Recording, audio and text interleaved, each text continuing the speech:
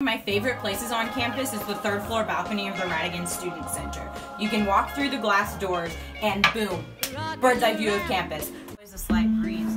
I've seen students come up to the balcony to eat lunch, do homework, or just plain sit and relax. Whenever I work with students, I try to take them up to the balcony. They always get so excited about seeing the people down below.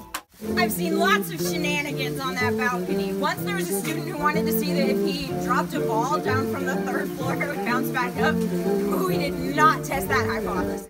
The balcony is also a great picture spot. Last fall, the College of Applied Studies ambassadors, including myself, took our group photos up on the balcony. Lots of good times on that balcony. Thanks, and go Shocks!